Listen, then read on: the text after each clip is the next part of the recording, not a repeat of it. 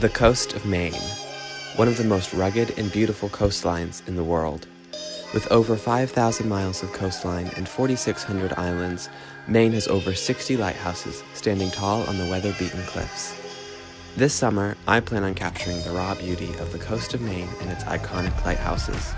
Come follow along as I capture a Summer of Maine Lighthouses, a photojournal of the Maine coast, Maine lighthouses, and Maine people.